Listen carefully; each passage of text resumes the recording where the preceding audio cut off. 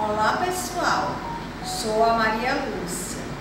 Estou coordenadora de Polo Agro Itacoatiara Amazonas.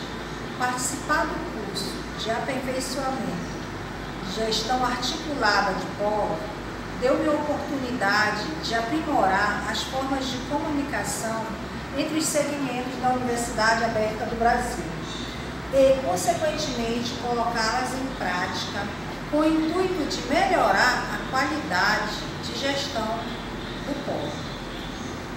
Queria agradecer a todos pela disponibilidade e envolvimento e principalmente pelos feedbacks que os canais de comunicação nos oferecem.